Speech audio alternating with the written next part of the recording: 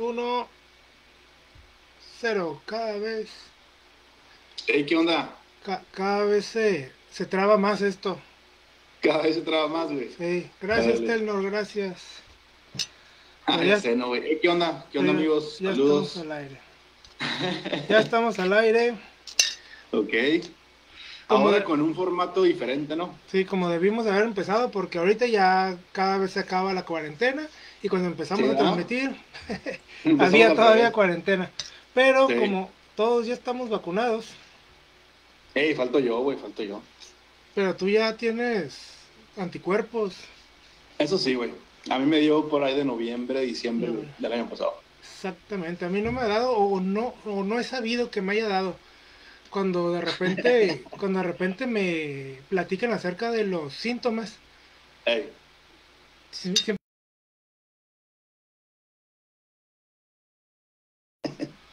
ándale. Pues no. Yo creo que hay gente que a lo mejor sí le dio, güey, que ni cuenta se dio. exactamente y pues sin esfuerzo. exactamente. Y como Pues qué bueno, ¿no? Qué y como- bueno, o sea, que así no se paniquearon y ya. ¿no? Y como vi un meme de que el COVID es como los cuernos, pues a lo mejor sí me dio y no me di cuenta. No me di cuenta. Como dicen, como no supe, no, no me afecta. No me afecta, exactamente. Tengo el corazón feliz. Ándale, pues bueno, amigos, amigas de Cinética, eh, la razón por la cual estamos en este formato es porque hoy, pues bueno, por cuestiones de cada quien, trabajos y así, no pudimos juntarnos y como cada vez queremos ser más puntuales para ustedes, pues decidimos hacerlo así. Y obviamente aprovecho para mencionar que vamos a estar trabajando en otros formatos, ya irán sabiendo ahí poco a poquito. Eh, queremos grabar los programas para meterle más contenido, hacerlos más dinámicos, y todo ese rollo, ¿no? Entonces ya ahí van a ir eh, dándose cuenta de qué onda. Y como se dan cuenta, pues nada más estamos Gil y yo, la, la Carlita, la Carlita, la Carluki, la, la Chiqui baby. Sandra Bola, no nos pudo acompañar hoy, pero le mandamos un saludo ahí donde quiera que estés. Ya, espero que nos estén viendo, nos estés viendo. Espero que nos esté viendo por lo menos. No, no, es que, eh, pues ya sabes, ¿no? Como a veces eh, son las cosas y hay que atender, ¿no? Entonces, eh, pero pues el tema que traemos ahora, como pueden ver aquí en mi, en mi fondo, es remakes versus refritos. Refrito. Eh, tirándole a, vamos a hacerlo así, Gil, el remake es, lo, es el que nos gustó Ah, y el refrito es el remake que no nos gustó Que no nos gustó el chafa. el chafa, el que no nos... Bueno, a, a- a- a- a, mm, criterio de cada quien, ¿no? Que ya saben que aquí, como dice Dross, para traseros y para gustos es todo un universo, entonces, pues quiero decir también que lo que aquí decimos, pues no es absoluto, son simplemente, eh, pues, ideas de nosotros que estamos locos. Exactamente, existe la verdad, existe tu opinión y existe mi opinión, así que ninguna se convergen. Y lo que me gusta a mí, a, a otros no les puede gustar y Ándale. Y ya saben que igual pueden comentar, pueden este, opinar. Allí Gil está en controles y él va a estar en, en- en contacto con los mensajes que nos puedan que nos puedan mandar, los besos que nos puedan mandar. Se vale, se vale. Aquí es Houston, allá es la nave, allá es Lunave. Ándale. Entonces, ¿qué onda? Date, empieza tú primero, güey. Empiezo yo primero, mira, fíjate que Dale gas. Una vez, ahora cuando me mandaste acerca del- de los temas, me acordé una vez que, que el gordito cachetón junto con Antonio Cruz, el, el, el administrador de cine en Mexicali, dieron, un- dieron una plática en, en el Festival de Cine de la UABC, no, me no recuerdo qué año, pero fue, fue hace poco y yo estaba en la escuela. Y hablaban acerca de los remakes y acerca de que no- igual si, si Polanco nos está viendo me puede corregir. Estaban hablando acerca, gordito cachetón. sí, estaban hablando acerca de, ah, sabes qué sí es cierto. Estaban hablando acerca de la película que más remakes tiene y hasta este y es la de King Kong. Ellos hablaban ellos, ellos hablaban que tenía alrededor, y igual si nos está viendo que nos diga, ¿no? A lo mejor me estoy, equivo- corrija, como siempre lo hace. a lo mejor me estoy equivocando de película porque estoy buscando, estoy buscando, se me hace que la que te dijo es eh, Risa en Vacaciones. ah, ya se anda, sí, cierto. son remakes, son, No. son versiones 1, 2 Sí, claro, pues, debido al, al- sé. al- debido a la gran, este, gran éxito gran éxito. Bueno, ellos Entonces, King Kong, King Kong, ok. Eh, pero ellos hablaban de 70 más o menos remakes de King no Kong. mames. 70 remakes. Sí. Sin embargo, aquí estoy, aquí estoy, Ajá. aquí estoy buscando este, esa información y pues no, no, me, no me da, me da, si acaso me dan, me dan 14 remakes. 14 remakes, tal vez son los más populares. Sí, a lo mejor sí. Pero como el gordito cachetón es súper mega friki, güey, si por algo lo dijo, güey, por algo lo dijo, güey. Por algo lo dijo. Va, digo, igual me estoy equivocando de película, pero Pues si anda por ahí que nos corrija. no encuentro. Pero bueno, aún así, 14 remakes eh, son un chingo, güey. Sí, son muchas. Y este, Para una, una, una película, o sea. igual son de Estados Unidos, de Japón y Corea. Y, Sí, es lo que me imaginé, como que eran de diferentes partes del mundo. sí, pues. Y una de, de Australia, creo que es Australia, de, Wow. Peter, de Peter Jackson, Órale, o de. Nueva, Nueva Zelanda. ¿De dónde es? Nueva Zelanda. Nueva Nueva Zelanda, Zelanda. sí, Él- cierto. él es de Nueva Zelanda. Sí, es que ya ves que las colonias inglesas todas tienen el, el- el- la bandera inglesa en su, en su bandera. Ándale. Por eso me Es confundo. modificada, pero la traen ahí. Sí, por eso me confundo un poco. Un sentillo por ahí, Sí. parecido. Pero yo, mi favorita, Ándale, empieza con tu remake. ¿Cuál es tu remake siempre- favorito? O el que más te gusta. y para siempre, que no, que cuando la vi no sabía que era remake. Cuando supe que era remake, este, acá está, este, pues me, me, me dio depresión. Ah, no, no es cierto. me dieron ganas de ver la primera, pero no, no la he visto. Y es La Mosca de, de La Cronenberg. Mosca. De película, un gran director. La vi rentada de Videocentro en VHS. Yo solito en mi casa, muerto de miedo, pero A fascinado. escondidas. Fa- no, no, hasta eso que no. Este, pero fascinado, fascinado por lo que estaba viendo. ¿Qué es lo que pudieras considerar que tiene La Mosca de Cronenberg que te gusta? Que, que, que dijo, que dijiste, güey, esto es la leche. güey"? Pues es que es Cronenberg. o sea, ya ya es- Cronenberg de entrada tiene un sello, ¿no? Y una, Sí. una, una garantía. pero no tanto porque sea él o sea su nombre, sino porque es él se materializa en las imágenes que hace, ¿no? Este, Órale, está chido eso. creo que hace una buena interpretación de la, de la historia, sobre todo llevándola al, al plano ya actual de aquel entonces. Este, la película original, es que creo que la película original, eh, la metamorfosis que sufre el, el individuo es diferente a la que pone con Cronenberg. Y este, ¿Sabes de quién es la original o no? no, la original no, no tengo idea, la estaba O buscando. sea, es gringa también, supongo. Sí, ¿no? sí, sí, es gringa y es, es en blanco y negro. Órale, porque Cronenberg la hice en el 86, aquí lo que estoy checando, ¿no? Ajá. Cronenberg, oche- 1986. Según yo la tenía aquí se me fue. Pero, o sea, las Le situaciones. puse, le puse la mosca y me sale la mosca VIP, güey. ¿Cómo, Ah, ¿Cómo la ves, güey? Vamos. Google, algo, algo me sabe, algo me sabe. que nos patrocinen, patrocinan. Ah, mosca VIP, güey. Esa es la mosca y no precisamente la VIP. Ok, entonces la mosca de Cronenberg. Me decías que eh, basada en una, en una película viejita en blanco y negro. Sí, exactamente. Ok. Y esta, de hecho, em, yo creo que, bueno, la neta la vi hace un chingo, güey. Sí me gustó, pero de hecho hace poquito teníamos esta plática con el gordito cachetón mientras comíamos tacos, donde le dije, porque fuimos a ver la de, la de Possessor, ¿no? Que es la del Mm. hijo de Cronenberg, ¿verdad? Ujú. Entonces yo le dije que, que a mí Cronenberg me, me, me- o sea, obviamente admiro su, su, su jale y admiro lo que ha hecho y como dices tú, sí se nota que, que él se, se mete en sus películas y es él, como, como del toro en su cine también. Sí, Y, pero siempre me ha causado como cierto, pues el gordito cachetón me da carrilla porque dices que no, no le entiendo a las películas porque eres millennial. y digo, güey, es que es un cine muy raro, güey. El de Cronenberg es un cine como el de David Lynch, que también es medio raro, bizarro, pero no deja de ser, o sea, eh, buen cine, ¿no? Aún así, aunque, aunque yo no le entienda a veces. Exactamente. Yo creo que es este, pues es la mente de él, la mente de cada director. Y es la visión. Es la visión de cada quien. Y ellos tienen una visión muy buena, pero rara. Ándale, como que son directores que desde sus inicios dijeron, sabes que me vale madres y le entienden o no, si les gusta o no, yo voy a hacer lo que yo quiera. Y curiosamente, pues fueron apoyados. De hecho, David Lynch es uno de esos directores como outside of the box, o sea, como que ha estado por fuera de la caja, aunque está en Hollywood y ha producido cosas con actores reconocidos. Él dice, güey, yo filmo lo que yo quiera, a mí no me importa el blockbuster o si peor no, y que de hecho, eh, tanto David Lynch como Cronenberg, sus películas ya entran como en este cotorreo del cine de culto, pues, dentro de los frikis y todo este rollo. Simón, exactamente.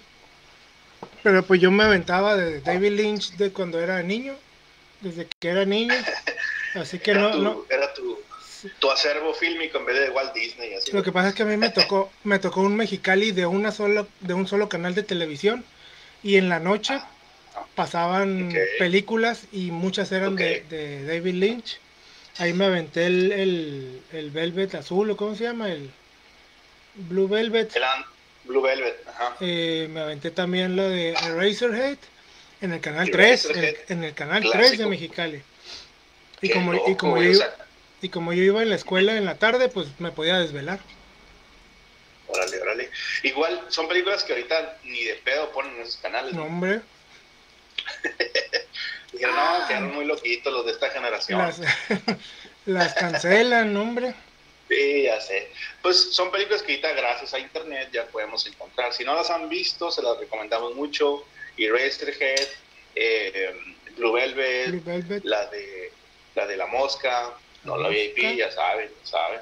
Y pues eh, a mí, el remake, bueno, primero voy a decir el que no me gustó. El que no, ok. Y voy a decir por qué no me gustó y por qué sí me gustó la, la original. El remake que no me gustó es el de Vanilla Sky, protagonizada por Tom Cruise y la morra esta, ¿cómo se llama? La, eh, pues dice Paula Wagner, aunque según yo, perdón, perdón, perdón, estoy, estoy diciendo algo mal. Cameron Díaz y Penélope Cruz, con Russell y otros güeyes. O sea, sí tiene como peso en, el reparto, digo, hace un chingo que la vi, pero yo siento que, o sea, como que para bien o mal, eh, eh, bueno, cambiarle el nombre, o sea, Vanilla Sky y todo el pedo, o sea, yo miro la portada y como que no me cuenta mucho, a diferencia de la versión de Amenaba, la española, que es la de, la de eh, abre los ojos, si me equivoco. Abre los ojos, lo tiene aquí también. sí, de Amenábar. Eh, esa sí me gustó, de hecho yo, vi primero Abre los ojos de Amenábar y me, gustó mucho la idea, me gustó mucho la actuación de, de, este güey.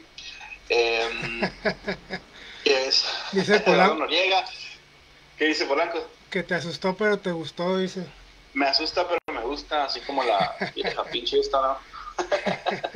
eh, me, me, gustó Open Your Eyes, en inglés.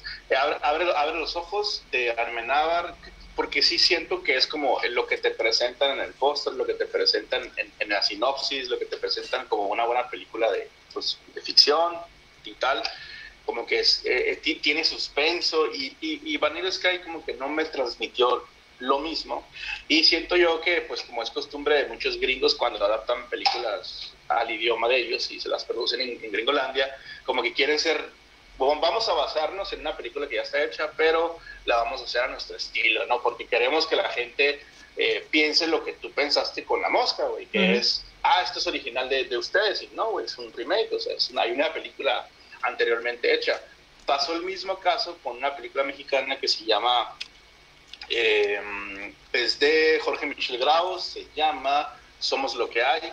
En ah. Estados Unidos le cambiaron, o sea, en esencia es lo mismo, pero le cambiaron bien cabrón, pues todo. De hecho, a, eh, Michel Grau se ofreció como para asistir, le dijeron, no, güey, no te metas. te compramos los derechos, güey, nos vamos a hacer lo que queramos con ella, güey. Entonces, los gringos tienen como mucho este cotorreo con los remakes que vienen fuera o basados en películas que son extranjeras. Pues. Pero pues por esas razones, digo, a lo mejor son razones muy, muy superficiales. Eh, no sé, como que no me gustó mucho la actuación tampoco de Tom Cruise. Y me quedo mil veces con la versión original de Amenábar. Si no la han visto, también se la recomiendo muchísimo. Eh, igual no sé si quieras entrar un poco a, a la sinopsis o qué pedo, o lo dejamos mejor que las busquen para que se que las busquen, que las busquen. Que las busquen, que las busquen. Esta sí, que las recomendamos por algo. Ándale, por algo las estamos recomendando, ¿no? Porque son buenas películas, las originales, vean las originales. Ah, bueno, aunque en tu caso, tú empezaste con la que sí te gustó, güey. Sí. O sea, vean la, la mosca de, Cronenberg. La mosca. Y yo les recomiendo que vean, abre los ojos, la original de Amenábar. La original, exactamente. Eh, hay muchas películas que son remakes y no me gustaron, tomando en cuenta lo que acabas de decir, ¿no? Que los gabachos, bueno, no todos los gabachos, porque hay muy buenos, pero básicamente los que los que producen para Hollywood eh, hacen una versión muy, muy, muy, este, alocada de, de las películas de otros países. Este, por ejemplo, está el remake de, de Rec, Cuarentena, pues, pues está mejor Rec, obviamente. La, la, totalmente. la del Aro también, pero me voy a ir por una que va a causar polémica y la escogí por eso. Ande, Porque aquí está. Suéltala, suéltala. Aquí está. Estaba buscando acerca de los remakes y me pusieron una lista aquí de los 10 remakes que superan a las películas originales. Obviamente. Ah, cabrón, eso, eso, trae peso, ¿eh? ¿eh? Obviamente está la de la mosca y ahí sí les doy la razón. Pero ponen otra que se llama Mad Max Furia en el Camino. Y la neta no ah, creo, no creo, no creo que este esta película supera la de los ochentas de Mel Gibson. Yo creo que es muy buena, yo creo que es muy buena, pero es independiente, no es ni reboot, ni remake, ni secuela, es otra y, y sí la regaron en ponerle Mad Max. Es otra vaina, o sea, ¿tú crees que igual hubieran puesto nomás Fury Road, perdón, otro título y hubiera funcionado? Pues? Sí, claro, y hubiera estado dentro de mi top 10 mil veces también. Hubiera estado de pelos. Sí, me gustó, pero eh, no, no me gustó que la consideren remake, pues. La de Fury Road, la, la, es la, bueno, la que también la hace eh, el mismo director, ¿no? Sí. La dirige él mismo. Eh, es la que sale, este, güey, Tom Hardy, ¿no? Ay, creo que sí. Sí, la Tom Hardy y, la otra la, la, la, que sí como medio acá. El bueno para los nombres de los actores es el gordito cachipón. Ahí que sí, ahorita nos va a poner. Nos va a poner ahí, él se encarga de hacer eso. Pero bueno, sí la vi, o sea, yo te voy a ser sincero y ustedes también. Yo no he visto las originales de, bueno, las viejitas de Mad Max. Eh, yo la única que he visto es la de Fury Road. Y sí me gustó, obviamente no puedo hablar eh, a diferencia, bueno, hacer comparación con las otras porque no las he visto, pero me voy a poner a verlas porque ya he escuchado varias reseñas que son muy buenas y que son como que las que tienes que ver si te gusta el cine de género, entonces pues ahora sí que lo voy a ver porque me dicen que la vea. Ah, algo muy gracioso o muy preocupante de Mad Max de los años 80 es que todo eso sucedió en un ambiente el cual estamos viviendo ahora. Parecido, ¿no? Parecido. muy parecido. Entonces estarías muy a, tiempo de verla. ya sé, como que me voy a ambientar, güey. Sí, Imagínate los que vieron, los que vieron Mad Max o llegaron a conocer en la plena, así, a la mitad de pura la cuarentena, güey. ah, exactamente. De hecho, está incurado porque Netflix te pasaba, o sea, como que era cuando más te recomendaba películas que tenían que ver con virus y zombies y así, güey. Dije, no tienes madre Netflix. Tom Hardy y Charlize Theron. La Furiosa, ¿no? La Furiosa. La Furiosa sí me gustó, me gustaron los efectos, me gustó la acción. Creo que sí cumple con lo que tiene que tener una película de esos, ¿no? Esa película ganó muchos Oscars o cuando menos estuvo muy nominada, pero no por historia, sino por, por efectos especiales, por producción. cuestiones técnicas. Yo creo, yo creo que sí, en, en producción es un ejemplo esa película de lo que es una buena producción y que salga bien. Así es. Y aparte, pues es que tú sabes que los remakes, como dicen por ahí, si la van a cagar, que la cague, pues qué mejor que sea el mismo director, ¿no? la, original. En este caso yo creo que no. O sea, aunque tú consideres que las viejitas son mejores, o sea, no se le compara, pues, pero yo sí creo que aún así se puede considerar como un remake, ¿no? ¿O qué? O un refrito.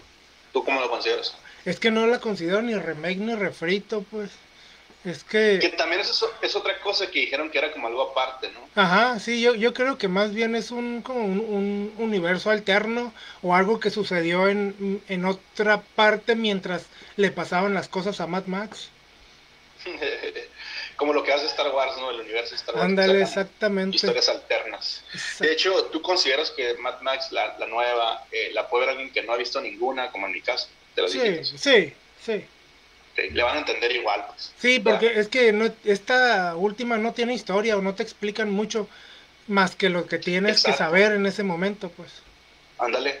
Y, te explican que son personas que van de un lado a otro y están huyendo y la madre, ¿no? Entonces, es cierto, está como muy básica en cuestión de historia, pero como dices tú, visualmente... visualmente, pues oye, hacen algo que me gustó mucho es que recrean pinturas de Dalí ahí cuando, cuando pasan el pantano, el, ay, no sé, estuvo muy, muy fregón. Sí, sí, sí. De hecho, ¿sabes qué otro director? Hace poquito en el programa pasado hablamos de él, de, William Fredkin, el director del Exorcista, también, cuando un documental que de hecho está en Netflix, para que luego no digan que no les recomendamos películas de Netflix. Ah, eh, él habla en qué se basó a la hora de, de iba a decir disparar, porque nosotros en el cine así, así le llamamos como que, ah, de momento, ¿cuántos tiros fueron? Dos, tres tiros, ¿no? Que son las tomas. Eh, dice que al momento de, de, hacer los shoots, o sea, de filmar, vaya, eh, muchas de las cosas, texturas y así, encuadres, fueron basados también en diferentes artistas, pues plásticos o pintores que él admira. Pues. Entonces, como que sí se da mucho eso, ¿no? Con los directores, sobre todo viejos, que, que dicen, ah, voy a recrear en esta toma o en esta secuencia la pintura de X cabrón, ¿no? Exactamente. Y hablando de Netflix, solo para hacer un paréntesis, vimos, ¿viste la de El Ejército de los Muertos? Ay, cabrón, yo creo que podemos aventarnos un programa entero, de eso, hay que hacerlo. Ah, ok, entonces, a, futuro, a futuro. Es que te iba a decir... No, te puedo decir, ajá. A ver, tú dime primero, verás. ah, según lo que yo te diga, me vas a preguntar. No, no, porque es algo, es algo que no, no tiene nada que ver con la película. Dilo, dilo, no importa. A lo mejor a la gente le, No, no, pues Zack Snyder hizo el, mismo diseño sonoro que yo en, en, El Jardín del Diablo, con las mismas rolas. A la vez, sí, cierto, güey, te copió, güey. Lo miró en YouTube. yo creo que sí, yo creo que sí. Para los que no saben, Jardín del Diablo, luego de ahí, ya está pendiente también eso, güey. Oye, sí. ¿Quieren, ver, quieren, quieren ver el Jardín del Diablo, güey, la gente? Estaba Ay, hijo de su madre. Se me olvidó. Pero estaba viendo un documental acerca de guerras. De guerras o de, o de algo más. La onda es de que había un. Un este. Una leyenda dentro de las guerras, pero es que no recuerdo cuál guerra es. Tengo que. Tengo que. Este. investigar bien Acerca de, de los jardines del diablo, así se llaman. O sea, sí existe ese, ese pedo. Sí. No fue una fumada tuya. No, sí, de hecho ya existe una película que se llama así, pero... Nada que ver, ¿o sí? Pero nunca había... Nada, que ver con jardines o nada que ver con diablo. Ajá, exactamente. una de dos. Y luego también ahí hemos estado platicando este, en hacer una serie, ¿no? Una serie web eh, no precisamente como una continuación, sino también como hemos estado hablando aquí del universo del Jardín del Diablo. Exactamente. Ahí luego ya la gente va a saber de qué estamos hablando, vamos a hacer algunas proyecciones, ahorita que ya, pues, eh, ya están todos vacunados, casi todos, para que vayan y vean los porcentajes que tenemos. Exactamente. Eh, regresando, y para cerrar paréntesis, en, lo de, en la de la de eh, el ejército de zombies, no, me acuerdo, güey, cómo se llama. Ejército de los muertos. El ejército de los muertos, fíjate, ni me acordaba el pinche nombre, güey. Pues mira, nada más, digo, hay que hacer un programa, el próximo programa puede ser de eso, ahorita que la película está ahí como que hype. Eh, a mí no me gustó y yo creo que, no voy a decir por qué ahorita, si hacemos el programa, ahí sí voy a dar mis, puntos de vista, pero siento que eh, Netflix, en pocas palabras, está haciendo películas de microondas. películas que, que, que, sí, güey, así lo puedo denominar yo, güey, o sea, películas que ya, o sea, lo más cabrón que puede tener una película, independientemente del género que sea, es la sustancia. Y la sustancia es lo que te transmite, lo que te está contando, lo que hacían que las películas viejas sean icónicas y sean las películas que hasta la fecha seguimos recordando. Pues entonces el cine nuevo, sobre todo el que hace Netflix, mucho del que hace, no tiene sustancia, están así como que pues fílmala, que salga y que la gente se suscriba y vámonos a madre, ¿no? Entonces yo sí creo, o sea, entiendo por la cuestión del negocio, una película de Snyder, pues ahorita sacando la Liga de la Justicia de cuatro horas, también a un chingo de gente no le gustó, pues va, está en hype el vato, pues vamos a hacer algo con él, pues, ¿me entiendes? Entonces, eh, fuera de eso, creo que es una mentada de madre para nosotros los cinéfilos y sobre todo, pues, cuando nos dedicamos a, ver películas para, para, recomendarlas o algo así. Pues digo, no somos críticos, pero chido después invitar a críticos que sí se dedican a eso. Pero pues lo, lo, hablamos desde el punto de vista como, como, como también como realizadores, güey. O sea, nosotros no creo que tengamos como un, o sea, que esté como muy marcado el rollo de que es nuestra responsabilidad entretener.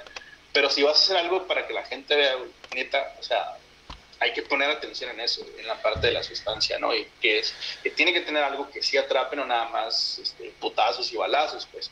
Entonces, nada más voy a dejar hasta ahí. Me gustó más el intro de la película. No para nada tiene que ver y no lo puedo comparar en absoluto con las buenas películas de zombies de humor negro como es Shaun of the Dead, como es, por ejemplo, Zombieland o inclusive una eh, cubana que se llama Juan de los Muertos. Juan o sea, de nada los tiene que Muertos. ver con esas películas. Sí, güey. Entonces, esas sí son películas de zombies eh, de humor negro. güey. Entonces, si quieres, digo, la próxima eh, show hablamos de esta mafufada, como dice el Christoph. Ok, perfecto.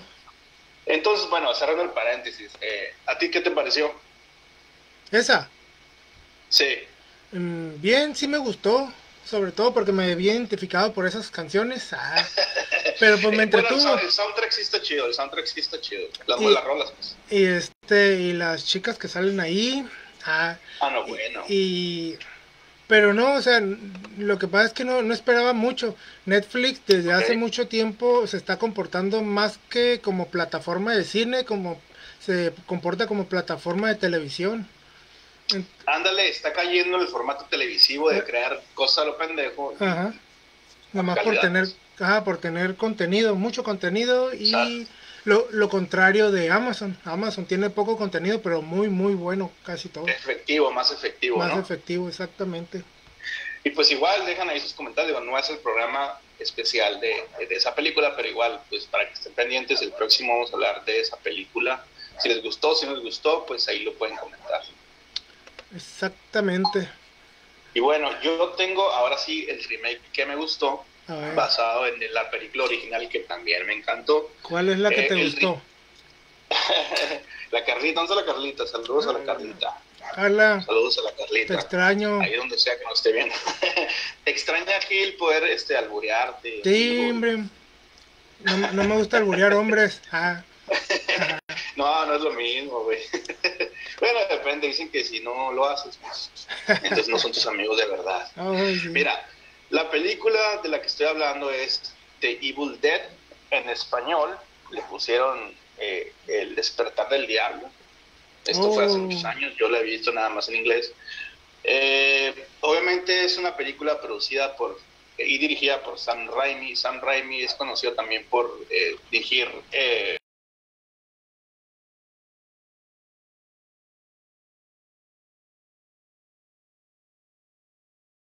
la posesión, etcétera, ¿no? Es un director como que se ha mantenido en el género y bueno, en esta película eh, la, tiene una historia bien interesante que les quiero compartir. Eh, esta película, la original, salió en 1981. La hicieron con muy poquitos recursos, se fueron a una cabaña en bosque y la filmaron a como pudieron, así como nosotros, güey, así, así se la aventaron, ¿no? A la punk, salió, la vendieron y pues ahorita ya es eh, perdón, una película icónica dentro del cine de género. Eh, a, a- a su vez, como su director y como el actor principal, que es Bruce Campbell. De hecho, si tú piensas o si pensamos en un actor de género, el primero que se te va a venir a la mente, bueno, entre varios, es Bruce Campbell, ¿no? Entonces, de hecho, salió una serie que es Ash vs. The Dead. Ah, si sí. me acuerdo, no la, no la vi completa porque pues me aburrió como a la, no sé qué episodio, nada que ver. O sea, sí está entretenida, pero pues nada a ver con lo de Raimi en estas películas. Que Y viaja de en el tiempo, eh, ¿no? Ándale. Sí, o sea, sí, ya como que está curada, pero pues no tanto. Me quedo con esta, ¿no? Eh. Como serie no me gustó tanto. Eh, pero bueno, esta película se hizo en aquellos años y pues sigue siendo como muy famosilla, ¿no? En el 2000, verás, ahorita le voy a dar la, la fecha exacta. La historia interesante de esta película es que por ahí del 2008, 2010, si no me equivoco, se sube un video a YouTube de un vato eh, uruguayo, por ahí, que se llama Fede Álvarez, ahorita voy a decir bien qué pedo. Simón Uruguayo.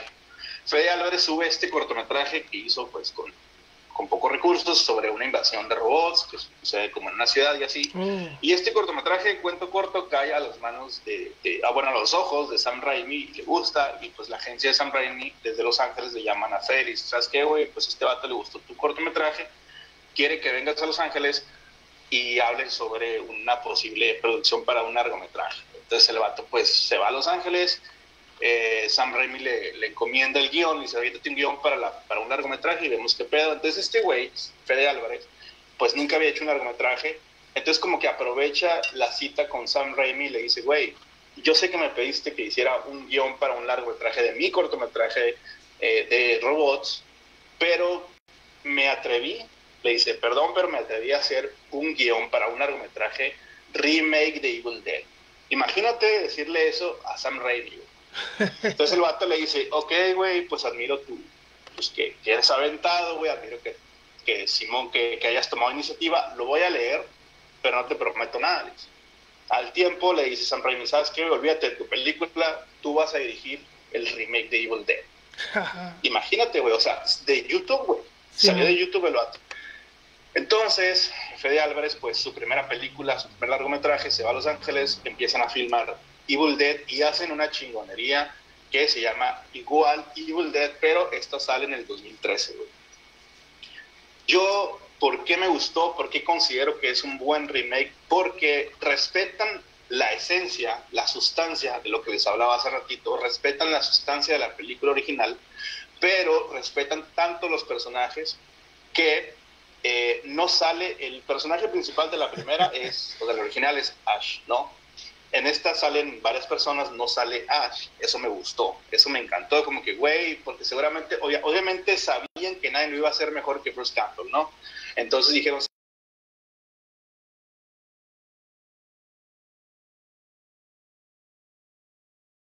también se la rifaron, los efectos son buenísimos. Esta sí es una película de terror sangrienta. Yo sí se la recomiendo muchísimo y tanto pueden ver la primera, o sea, la original como esta, les va a encantar. Yo creo que sí es, un, es una... Eso para mí es el respeto de un remake a una película original.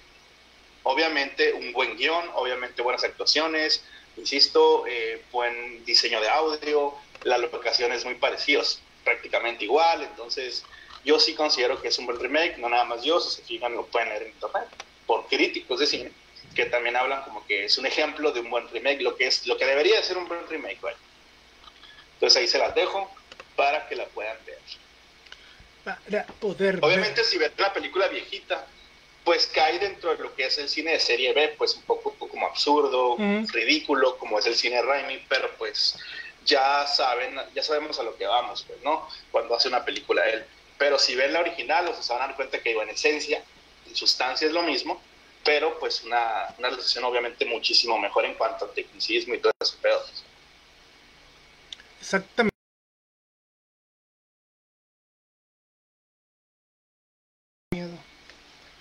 ¿Te tocó ver la primera o la original? ¿O has visto los dos? Ah, caray, la, la original. La original, sí. ¿Sí?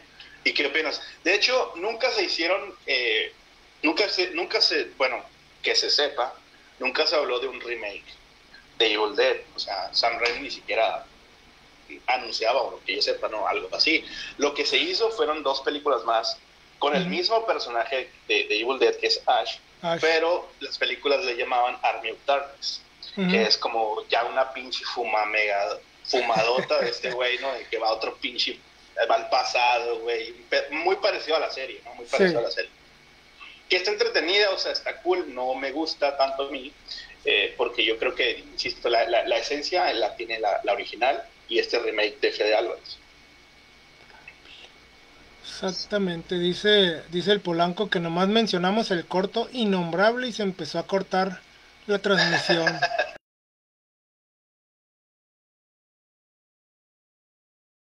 Ah, está, está viendo el programa, güey. Ojalá. Sí. De hecho, el gordito Cachetón es productor del Jardín del Diablo, del cortometraje que estamos hablando, ¿no? Él, él, fue el productor, él fue el que dijo de aquí. Aquí, aquí, aquí nada más, ¿cómo dicen? Aquí nada más mis, mis cacahuates, ¿cómo es la frase? Truenan, ¿no? Chicharrones truenan. mis chicharrones truenan. Aquí nada más mis chicharrones truenan. Pero bueno, entonces, eh, otro remake, yo creo que hay un montón. Eh, que, que pues, obviamente mencionabas tú el aro, ¿no? Aunque el aro original me gustó, obviamente no se compara para nada a la, a la versión asiática. No, pues eh, ¿Verdad? Y yo creo que, ¿sabes lo interesante ahorita que hablaba de, de Jorge Michel Grau? que es el director de esta película de Somos lo que hay, que también es una muy buena película de terror. Tiene sus detallitos muy leves, pero está muy chingona. Hace una referencia a una de las películas de Guillermo el Toro, que es la de Cronos. Mm. Y eso se me se hizo bien chingón. Dos referencias. Y para que la vean, los que han visto Cronos se van a dar cuenta. Eh, creo que cada vez más películas mexicanas están haciendo remakes en otras partes. Y un remake que obviamente no me gustó, que sí considero un super mega refrito, es ah. la película de un directorazo mexicano que obviamente se murió, que se llamaba Carlos Enrique Tahuada. Estoy hablando de Hasta el viento tiene miedo, estoy hablando de Más negro que la noche, estoy hablando de estas películas de los 50, 60 que sí eran películas de terror, suspenso. Insisto, van, van, a ver que chingo mucho con este tema, pero son películas que tienen que, sustancia, güey, que tienen 60, güey. Que mucha gente dirá, ah, es que no, no hay presupuesto. No creo que la sustancia esté peleada con el presupuesto. Yo creo que ya está ahí como una cuestión de decir, quiero contar una buena historia. Como me decía hace poco una amiga que se llama Alejandra, me dice, güey, ¿qué no se darán cuenta los directores de que es una porquería de película? Digo, es que sí se dan cuenta, pero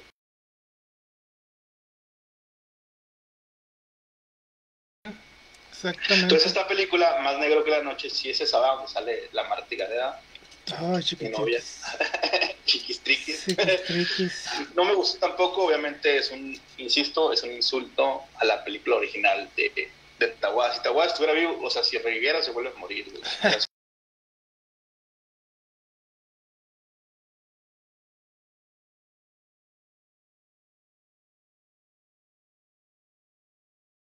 eh, o el, uno de los eh, digamos, pioneros en el cine de terror en México. En México, sí. Entonces... Hay que estudiarlo más porque en mi escuela no ponen eh, directores nacionales a menos que sean contemporáneos por los que han ganado Óscares. O sea que nunca te han hablado de Rubén Gámez, Felipe Casals, o sí. No, nada de eso. Neta, güey. Neta. Eh, qué pedo ahí con qué onda ahí, güey, ¿eh? A ver, a ver, maestros. A ver, maestros, porque, güey, o sea, yo creo que hay muy buen cine nacional, güey, que no precisamente es contemporáneo, güey. O sea, y ni siquiera estoy hablando de la época de oro, que mucha gente va a decir, sí, güey, las de, las de, las de, Pedro Infante, güey. O sea, obviamente, ese es otro tipo de cine que se hizo en su momento. Sí, que está opinando también. Quiero opinar, también. quiero opinar la perrita, güey. Se enojó por eh, eso, pues. Se enojó por él, también está quedando él, güey. Eh, no, o sea, no nada más el cine de oro es bueno en México, o fue bueno. O sea, hay mucho cine que, que hay mexicano. Arturo Ripstein, todo el cine de Ripstein está bien chingón, güey. O sea, hay un montón de directores bien chingones mexicanos. Y qué mal pedo, güey, que no, que no los, que no, que no les enseñan algo, güey, qué pedo. De eso no.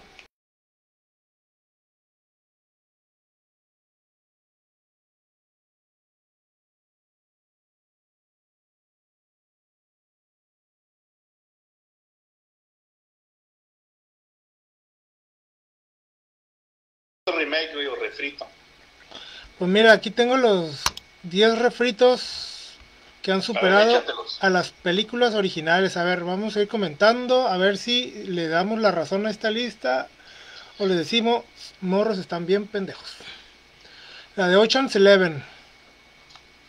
No he visto la original, pero Ocean's Eleven me gusta. Sí, me gusta, me entretuvo chilo, A mí también, la original es de 1960, no es muy recordada pese a contar con los Rat Pack, Frank Sinatra, Dean Martin, Sammy Davis Jr. ¿Vale? A lo mejor el gordito cachetón sí lo ha visto. No, es que, claro, él ha visto hasta las que no se han filmado todavía. Como le dijeron una vez al Cuarón que lo estaban demandando en la India por Gravity, de una película que todavía no se filmaba. Ay, mi chavo. Le dijeron, es que hiciste, pues no, le, dijeron, tu película es una copia de una película que todavía no se filma, güey. Y lo estaban demandando por eso. Increíble. Entonces, a ver, Ocean's Eleven, ¿qué más? La, la invasión de los usurpadores de cuerpos. si no me equivoco, es de eh, Romero, George Romero, o no? Philip Kaufman. Ah, cabrón. Entonces no es la que yo digo. No. El remake de 1978 de Philip Kaufman. La película original fue del 56. También que es mejor que la viejita, ¿no? Ajá, dicen que es mejor que la viejita. Pero pues sí, igual, igual creo que es de género B, tampoco es como... Serie B.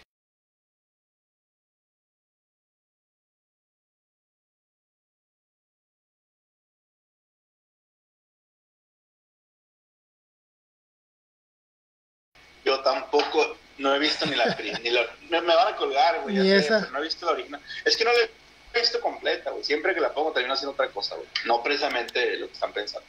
Ah, ya sé. No, yo no la he visto, no recuerdo haberla visto, pero hace medio siglo, en el 32. Pues sea lo que sea, güey, o sea, yo creo que culturalmente o popularmente, de forma popular, yo creo que nadie le va a ganar a, a, este güey, ¿cómo se llama? Eh, se me van los nombres justo cuando los quiero decir, güey. Tony Montana, al Al Pacino. a, Tony Montana, a fucking Tommy Montana, güey, no creo que alguien le gane a ese, güey. Al Al Pacino.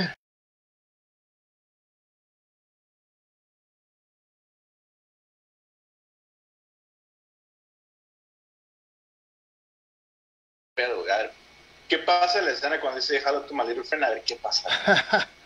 ya había... ¿Cómo, lo dicen los 30, güey? Ya, ya, ya había metralletas, no, no sé. Sí, güey. Sí. sí. Va a ser como la escena de mi perro angelito. Te doy cinco segundos para que corras. ¿Cómo dice? Rata inmunda y no sé qué. inmundo animal, dice. Inmundo animal. Inmundo animal y tal. Esta, esta me gustó mucho. Eh, los infiltrados del 2006.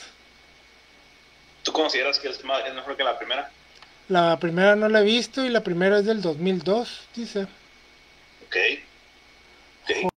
Yo, no, he visto ninguna de las dos tampoco. Ah, ok, es que la del 2002 es hongkonesa, es de Hong Kong. Infernal Affair. Me llama la atención más esa fiesta. Se convirtió en un éxito.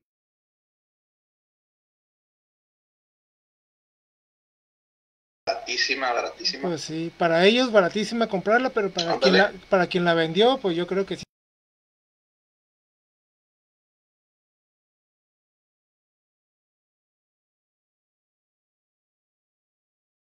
La cosa. The Thing, nice, esa sí la vi. Sí. Esa sí la vi. La, me gustó. la original es del 51 y el remake del 82. Creo que, que igual respetan, se respetan una con otra, ¿no? Sí. la, el remake con la viejita. sí. Creo que yo nada más he visto el remake, pero no recuerdo bien. El remake. Ok, ¿cuál otra viene? Otra, Cabo de Miedo, de Martin Scorsese. Digo, es, es Martin Scorsese, debe estar chingona. Sí. No sé qué, qué tanto, pero debe estar buena.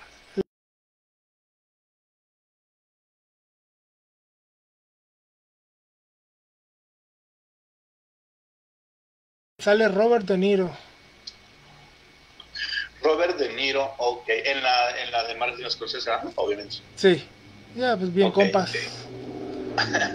ya se saben, ya se huelen el uno al otro. Esta, esta nos va a dar todos los detalles el, el Polanco. A ver. El hombre que sabía demasiado. El hombre que sabía demasiado. esta es una de las favoritas del gordito, güey. Pues es que es de Alfred Hitchcock. De hecho, hay un, estamos, bueno, a ver si no se raja el güey.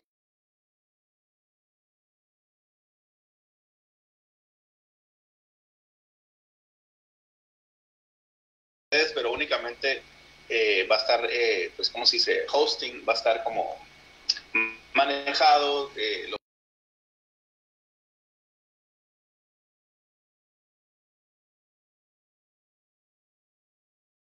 Y en ponernos en suspenso a todos.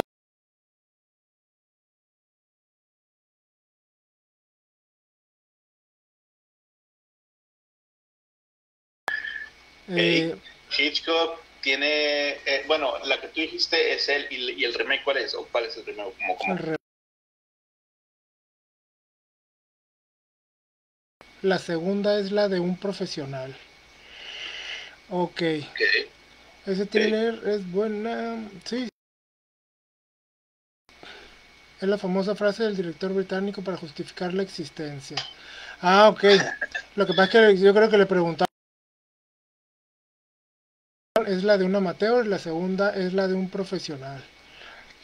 O sea que él, eso. o sea, lo que pasa es que él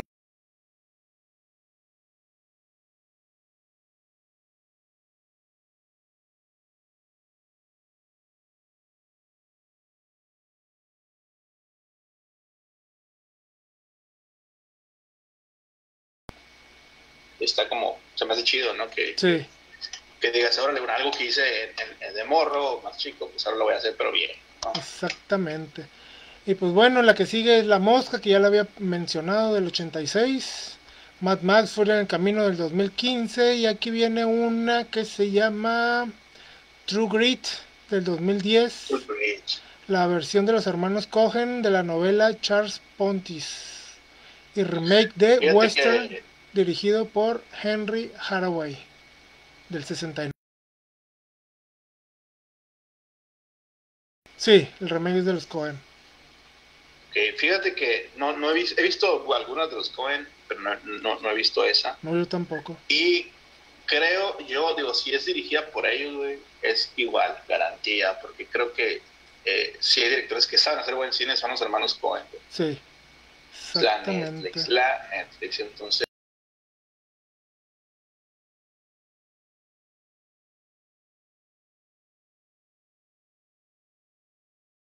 Película, con todas las letras en mayúsculas. Y bueno, también estaría cura hacer un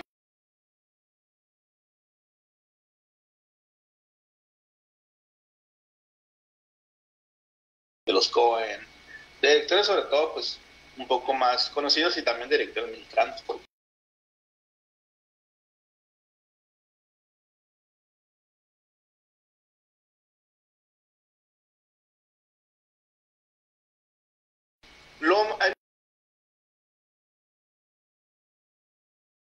Yo creo que pues sí que es muy apoyado, pero desafortunadamente no se sabe sobre todos estos directores. pues. Y no, no precisamente porque no es apoyado, sino porque pues también para que una película sea reconocida o famosa, pues,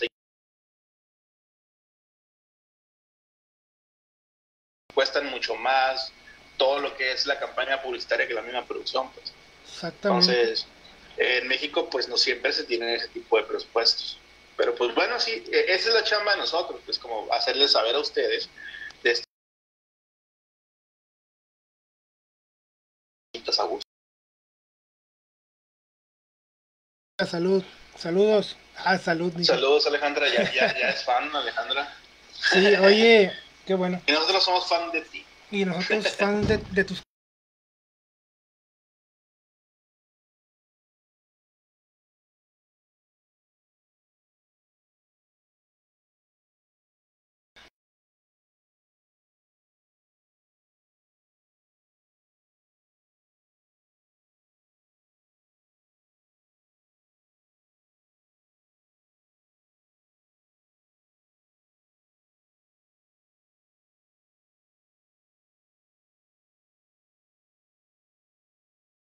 manda por, por Twitter. Y Sí. los, los lo que, lo que ustedes están sintiendo ahorita, nosotros lo sentimos todos los años. como, como, Todo el tiempo, güey. como independientes. Ah, no respondieron. No, hombre, pues imagínate, güey, o sea, eh, hace poco, bueno, literal.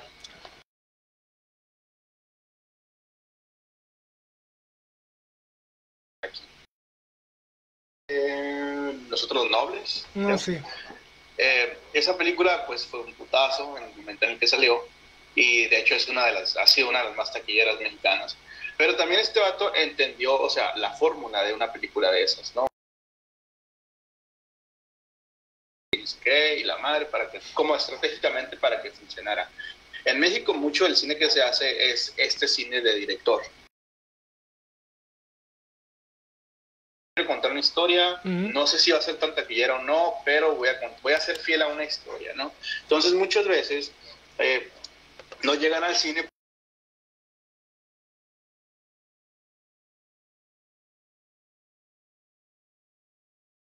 a billete, ¿no? Entonces, Cinépolis no, o, o las casas de cine, no sé si exista todavía Cinemex en otras partes o ya hayan cerrado, eh, no es que no apoyen a las películas mexicanas, apoyan la película mexicana que vaya a ser taquilla. Ujú. Eh, no siempre esas películas pueden llegar al cine, entonces, pero hay otras plataformas, de hecho en algún punto hemos estado platicando ahí sobre empezar un proyecto para poder subir películas independientes que también son muy entretenidos, o sea, a lo mejor no son tan taquilleras, pero son muy buenas películas, o sea, quiero, quiero aclarar que o que sea demasiado independiente no quiere decir que sea también buena película, o sea, eh, o mala, ¿no?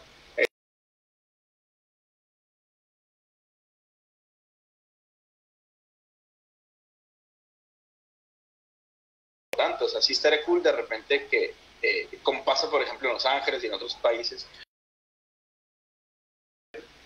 que hay, hay casas de cine que sí ponen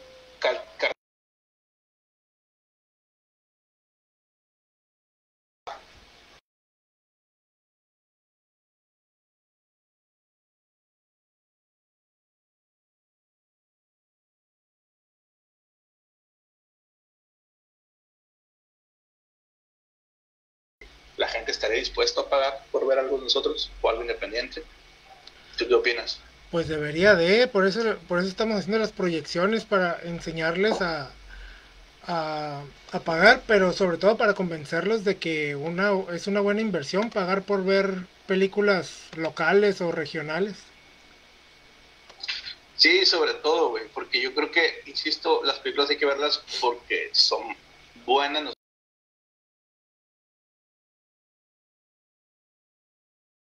Sí, sí, te entretienen y todo el rollo. pues.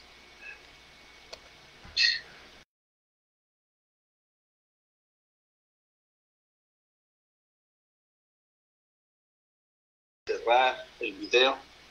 Alguno para cerrar, pues no, este nada más pues las películas que nos que nos diga el Polanco a ver si es cierto que la la, la más película la más re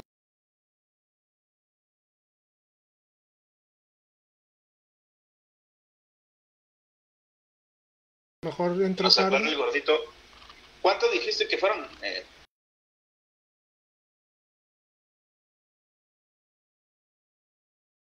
pero pues igual puede ser pero sí o a lo que mejor vamos ellos, ándale, que nos, que nos, que nos ahí, que nos, este, que nos corrija el gordito. ay, güey, que nos corrija Pues bueno, entonces pues de la de Snyder, la película de Snyder. Snyder, la de el, el ejército El de los muertos. El Ejército de los Muertos, próximo programa vamos a hablar de eso, ya que esté la Carlito también para que opine. Y pues eh, nosotros pues eh, vamos a empezar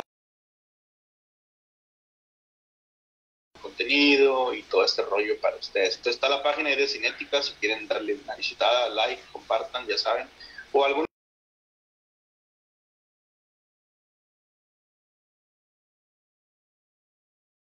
hamburguesas. Vayan a las hamburguesas que les dijimos. Smash. Smash Burgers and Fries están ahí en la isla, las islas.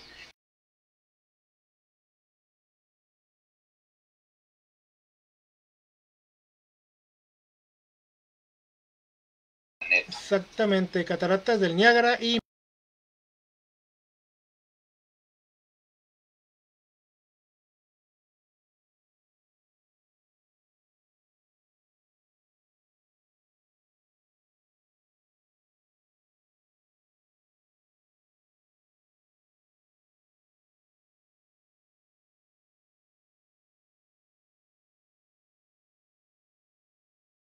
Ándale, estaría chido decir, ah, nos mandaron ustedes, güey, que todo madre. Mínimo, mira, una- unas papitas.